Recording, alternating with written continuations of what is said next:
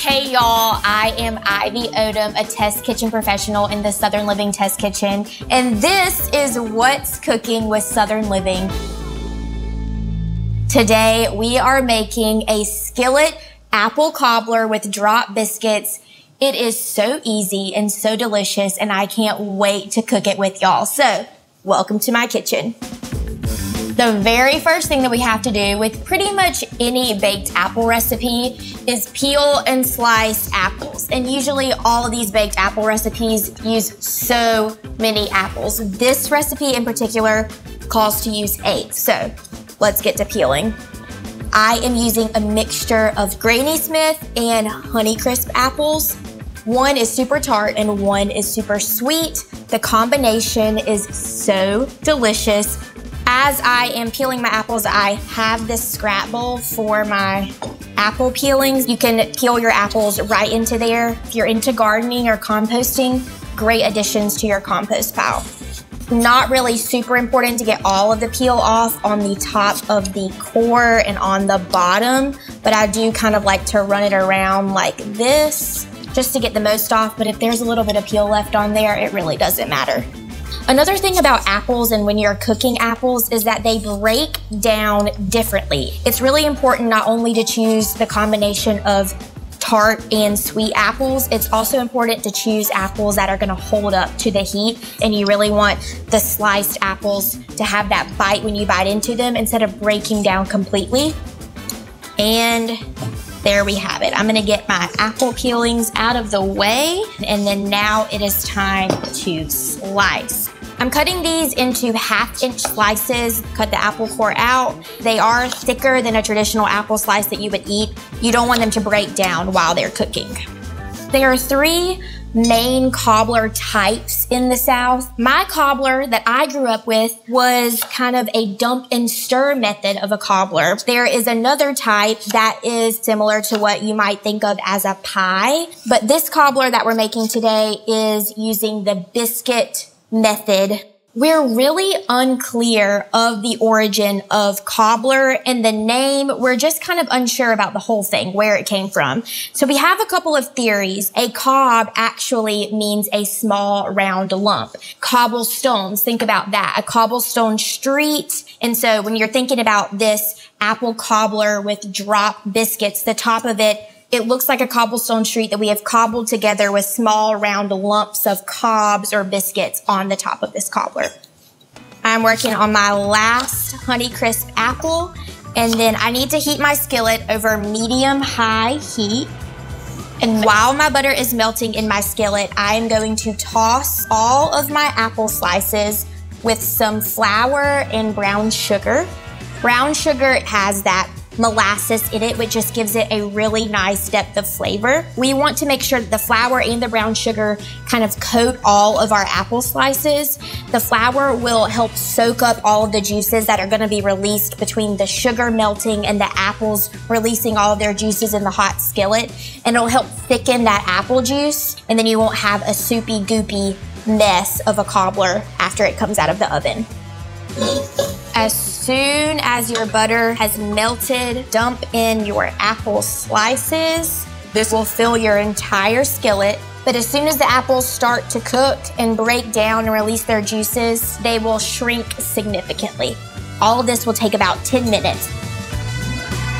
Okay, y'all, look at this. This is what you're looking for when I say that your juices are thick. The flour has done its job. So I am turning my heat off and I'm going to stir in one cup of homemade apple butter. Perfect addition for this. I really just think it brings out the depth of flavor of the apples without having to cook apple slices to death to get that really rich, deep flavor that you're looking for. And now I'm going to add in a teaspoon of lemon zest and two tablespoons of lemon juice. When you're zesting and juicing lemons, you always want to zest your lemons before you juice them. It is a lot easier to zest a whole lemon than it is to zest a half lemon that has been squeezed with the juice out. Okay, lemon juice and zest into my skillet along with a quarter teaspoon of salt. And I'm going to give this a stir.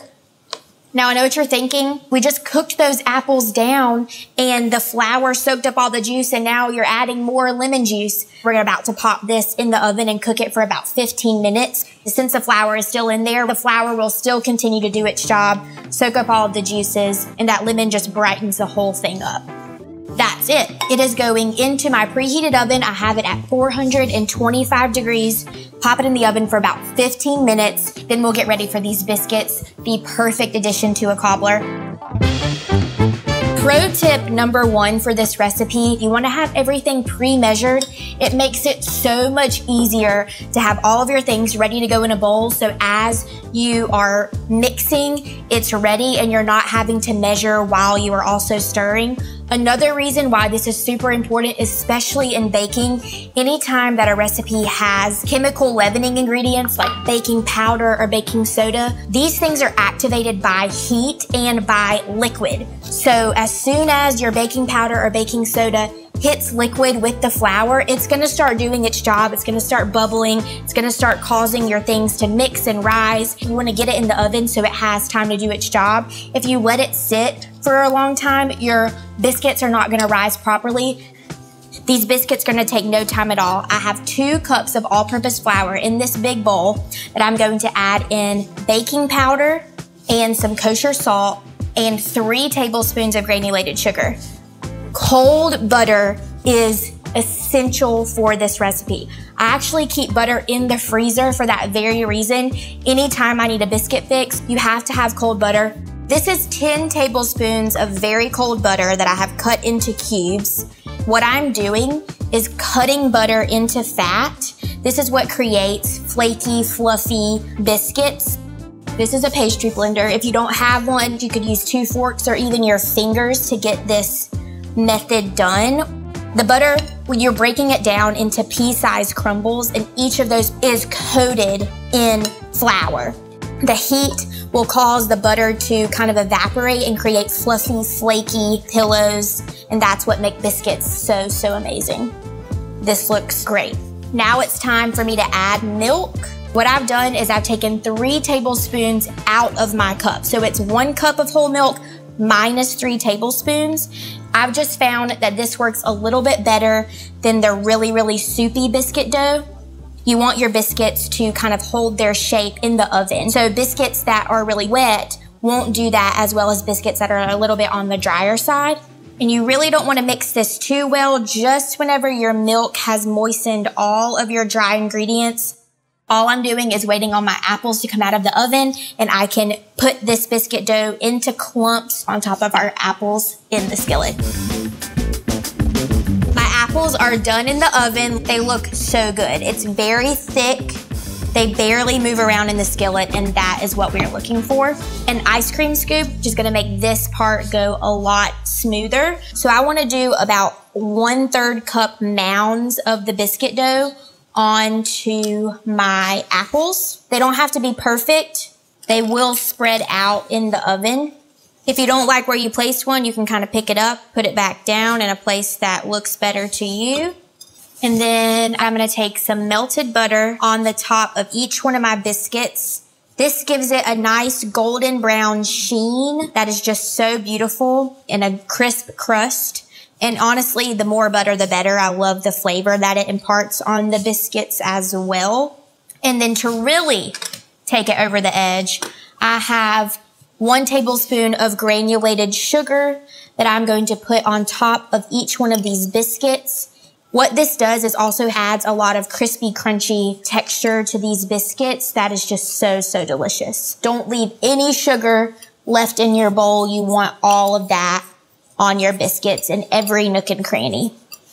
And that's it. It is going to go back in the oven, still at 425 degrees for about 18 to 20 minutes until the biscuits are cooked, golden, crispy on the top. Your apples are already cooked, so they really don't need any more time in the oven. really just worried about those biscuits.